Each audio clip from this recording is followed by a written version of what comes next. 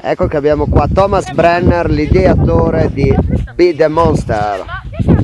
Allora, benvenuto. Qui c'è un libro che racconta delle storie.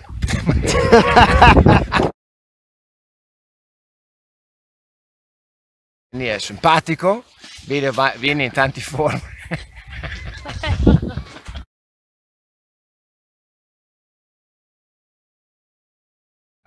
Adesso abbiamo fatto un libro che si conta del lago bambini e della sala.